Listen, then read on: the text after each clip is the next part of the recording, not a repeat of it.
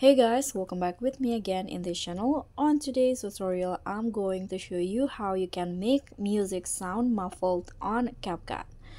So just add your videos uh, which has the music or sound into CapCut and in here click on the video and extract the music or the audio first. So click on this extract audio options okay now the audio has been extracted. You can just click on the audio and go to the voice changer options at the bottom. So in here uh, you can see this is on the voice filter. And in here you can just find the uh, filters in here to make the music sound muffled. You can use let's try the vinyl option